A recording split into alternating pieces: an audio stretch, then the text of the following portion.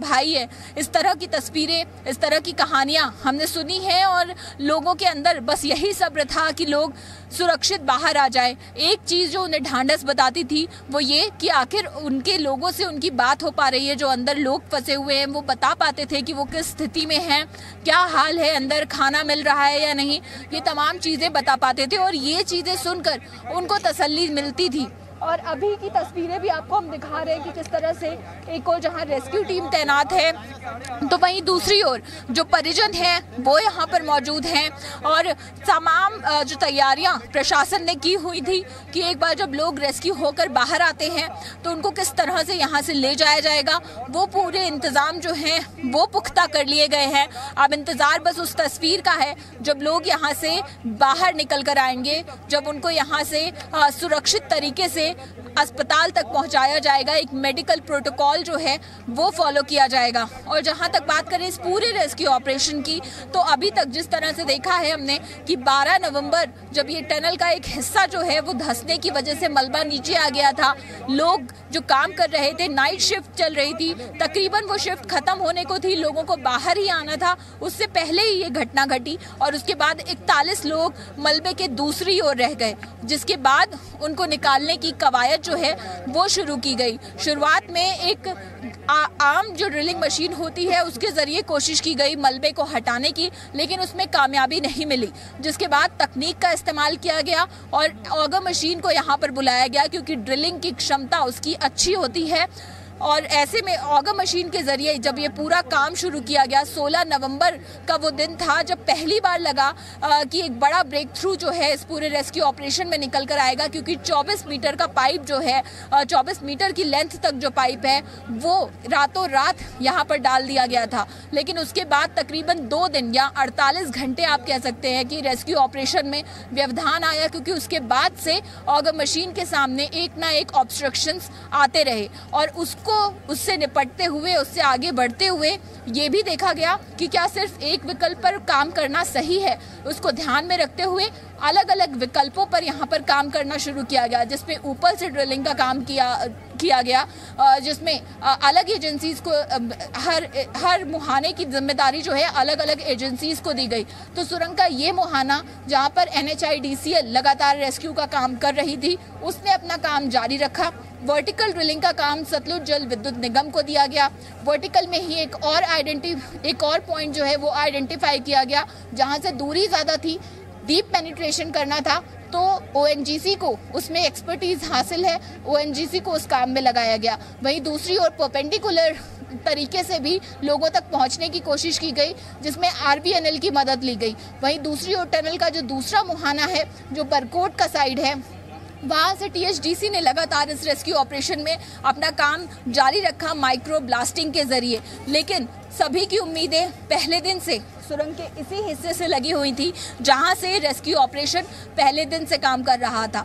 अलग अलग विकल्पों पर काम करते हुए भी बीच में अड़चने जो आनी थी, वो खत्म नहीं हुई, क्योंकि ऑगा मशीन के आगे कई बार ऐसे अवरोध आए जिसे काटने में वो सक्षम नहीं है, जैसे लोहे का सरिया आ गया कई बार रूफिंग के लिए जो पाइप यूज़ की जाती है, वो पाइप बीच में फंस गई। इनको काट कर निकालने में भी बहुत दिक्कत हुई और आप समझ सकते हैं कि जब 800 सौ mm के पाइप के अंदर आप जाते हैं गैस कटर लेकर ब्रीदिंग एपरेटस लेकर, कितना मुश्किल होता है गैस कटर के ज़रिए उस पाइप उस सरिया को काटना, उस लोहे के पाइप को काटना और फिर बाहर आना। तो उस पूरे प्रोसेस में भी काफ़ी लंबा समय लगा। इसके बाद एक ब्रेक थ्रू तब मिला जब तकरीबन तकरीबन उनचास मीटर तक की डिस्टेंस जो है वो कवर कर ली गई और जीपीआर ने ये बताया कि अगले पाँच मीटर में कोई व्यवधान नहीं है। लेकिन उसके बाद एक बार फिर से ऑगर जो है वो फंसा और अब उसके बाद की तस्वीरें हम दिखा रहे हैं जब आज एक बड़ा ब्रेक थ्रू जो है वो मिलने को आया और अभी आप देखेंगे कि किस तरह से यहाँ पर लगातार जो अधिकारियों के पहुँचने का सिलसिला है, लोगों के पहुँचने का सिलसिला है, वो जारी है। वीके सिंह, एक बार फिर से आपको तस्वीरों में नज़र आएँगे। जनरल वीके सिंह यहाँ पर पहुँचे हैं, भास्कर खुलबे के साथ। जनरल वीके सिंह आपको दिखाई देंगे, जो एक बार फिर से टनल के अंदर जा रहे हैं। मुख्यमंत्री पुष्कर धामी यहाँ पर मौजूद हैं और वीके सिंह एक बार फिर से भास्कर खुलबे के साथ आपको अंदर जाते हुए दिखाई देंगे। लगातार इस पूरे रेस्क्यू ऑपरेशन को ये दोनों शख्सियतें जो हैं, वो मॉनिटर कर रही थी। लगातार यहाँ पर रेस्क्यू टीम से बात कर रही थी। क्या क्या चीज़ें जुटाई जा सकती हैं क्या क्या अड़चने आ सकती हैं, इसकी समीक्षा लगातार की जा रही थी। और अभी आप देखेंगे कि तस्वीरों में आपको वीके सिंह दिखाई दे रही हैं भास्कर खुलबे दिखाई दे रहे हैं। रेस्क्यू टीम से जुड़े अन्य अधिकारी दिखाई दे रहे हैं जो फ़िलहाल अंदर की ओर जा रहे हैं। मुख्यमंत्री पुष्कर धामी भी यहाँ पर मौजूद है और ऐसे में आ, ये उम्मीदें जो हैं लगातार बढ़ती जा रही है। जैसे जैसे यहाँ गतिविधि बढ़ रही है जैसे जैसे समय गुजर रहा है उम्मीदें और बढ़ती जा रही हैं कि जल्द से जल्द वो तस्वीरें भी सामने आ जाएँगी वो सूचना भी सामने आ जाएगी कि लोग यहाँ से सकुशल बाहर निकाल लिए गए हैं। उन्हीं तमाम तस्वीरों का उसी सूचना का इंतज़ार करते हुए हम भी यहाँ पर लगातार अपने कैमरे के ज़रिए ये तस्वीरें आप तक पहुँचा रहे हैं कि किस तरह से ये पूरा रेस्क्यू ऑपरेशन जो सत्रह दिन से यहाँ पर चलाया जा रहा है कितना अहम हो जाता है ये पल उस रेस्क्यू ऑपरेशन के लिए उन तमाम लोगों की मेहनत के लिए जो सिर्फ़ एक इसी पल का इंतज़ार जो है वो कर रहे थे। बिल्कुल यकीनन अंजलि जो आप रिपोर्ट कर रहे हैं और लगातार सत्रह दिन से आप ग्राउंड ज़ीरो पर मौजूद हैं एक एक तस्वीर को देख भी रहे हैं पहुँचा भी रहे हैं। कई बार उम्मीद बनती थी, कई बार टूट जाती थी। कई बार ऐसा लगता था कि ऑपरेशन कैसे पूरा होगा। इतनी मुश्किलें हैं कि अगर ऑगर मशीन जैसी आधुनिक मशीन भी अपना काम नहीं कर पा रही है, ब्लेड फंस जा रहे हैं, टूट जा रहे हैं तो क्या ये संभव हो पाएगा कि मजदूर वापस आएँगे कि नहीं आएँगे? बहुत सारे उथल पुथल बहुत सारे सवाल मन में थे, लेकिन अपडेट इस वक्त की यह है कि CM Pushkar Dhami rescue site पर पहुँच गए हैं। ऑपरेशन ज़िंदगी पर अपडेट यह है कि बहुत जल्द ये ऑपरेशन पूरा होने वाला है। सुरंग के मुहाने पर एंबुलेंस लगा लगा दी गई हैं। मजदूरों के परिवार को सुरंग के पास बुला लिया गया है और इसके साथ साथ जानकारी यह भी है कि रेस्क्यू के लिए पाइप पुश करने का काम भी पूरा हो गया है। यानी कि पाइप डाला जा चुका है। सुरंग के अंदर फोल्डेबल बेड पहुँचाए गए हैं। जो मुड़ सकते हैं ऐसे बेड पहुँचाए गए हैं। सुरंग के अंदर एनडीआरएफ की टीम भी मौजूद है। इन सबके बीच जरा ये तस्वीरें देख लीजिए। एक बार एंबुलेंस लगा दी गई हैं। और एक, दो नहीं, कई एंबुलेंस वहाँ पर मौजूद हैं। मजदूरों के जो परिवार वाले हैं, उनको भी बिल्कुल पास में नज़दीक ही बुला लिया गया है। उनको भी सूचना दे दी गई है, क्योंकि एक, दो नहीं, इकतालीस मजदूर अंदर फंसे हुए हैं। सकुशल हैं, उनसे लगातार बातचीत हो रही थी, उन तक खाना पहुँचाया जा रहा था, ऑक्सीजन का इंतज़ाम उनके लिए किया गया था।